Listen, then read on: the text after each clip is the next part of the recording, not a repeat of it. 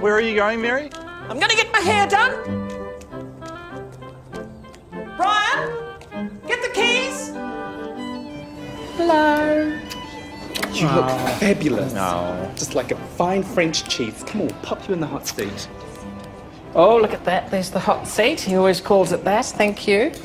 Now, what have we got here? What can we do for you today? Just, just do whatever you can. I'm going on the radio. So I, Radio. I want power. Okay, we can do a little power number, a little bit of a Margaret Thatcher, a little bit of a zhuzh. Yes, Yeah? that's it. That's it. Okay. Oh. How- This is David. Hi, nice to meet you. Television. How's it going? Hi, I'm Alex Turnbull. I'm No relation to the library. Don't think you've ever set foot in a library, have you? Stop it! You're such a feisty one. I've often said if I was 40 years older and didn't prefer. Oh, yes, he's got a chicken farm. You just relax there. I'm going to get Cindy to just give you a little bit of a rinse. Okay. Don't you go anywhere, stranger. I'll be back with some coffee and some lemon.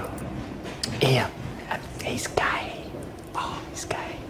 Mary is a regular here at Blows and Waves Salon. She sees it as the hub of local gossip and sometimes scandal. How's your son? Still doing the UFO thing? What he does in his own time is up to him. Yes, he's got a lot of spare time, hasn't he? Doesn't have a job. He's got something wrong with him. What's wrong with your son again? He's a narcoleptic. I think that means he does things with dead people. What?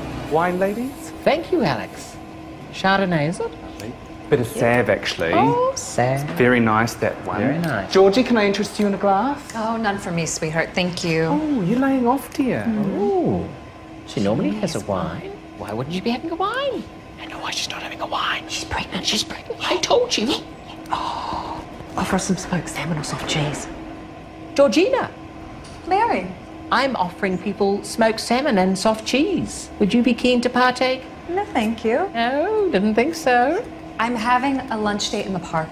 Might have some sushi? No. No, no raw fish for you. I told you she's pregnant. Lunch. Who with? The father? But she doesn't know who the father is.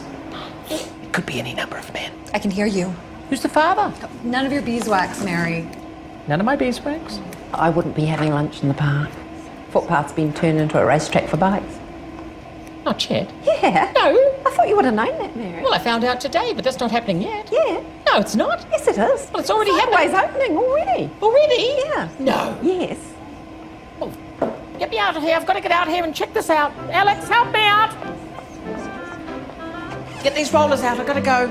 I can't believe that's already happened. That's the only reason I'm getting my hair done is to go and criticise this on the radio.